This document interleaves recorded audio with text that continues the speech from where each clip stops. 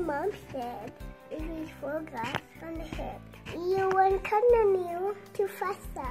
If you focus on the listen, you will continue to grow.